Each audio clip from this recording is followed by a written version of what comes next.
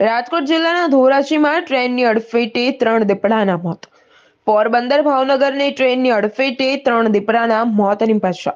Railway track પર ત્રણ દીપડા બેઠા હતા અને ટ્રેન આવી જતા ટ્રેનની અડફેટે ત્રણેય દીપડાના મોત નિપજ્યા. ફોરેસ્ટ ઓફિસર સહિત રેલવે પોલીસ અધિકારીઓ ઘટના સ્થળે દોડી આવ્યા. ત્રણ દીપડાના મૃતદેહને પીએમ અર્થે ખસેડવામાં આવ્યા હતા. શું ઘટના બની? Niharika Pandya range forest officer Dhoraji.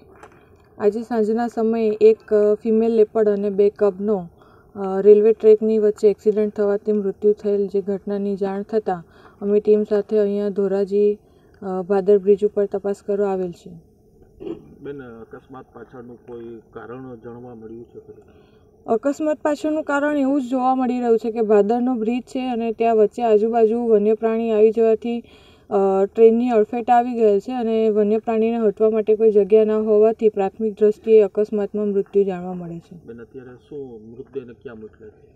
મૃતદેહને અત્યારે હવે પીએમ કરવામાં આવશે અને ત્યારબાદ આગળની પ્રોસિજર થશે. Arshibhai Ahir V India news Upleta.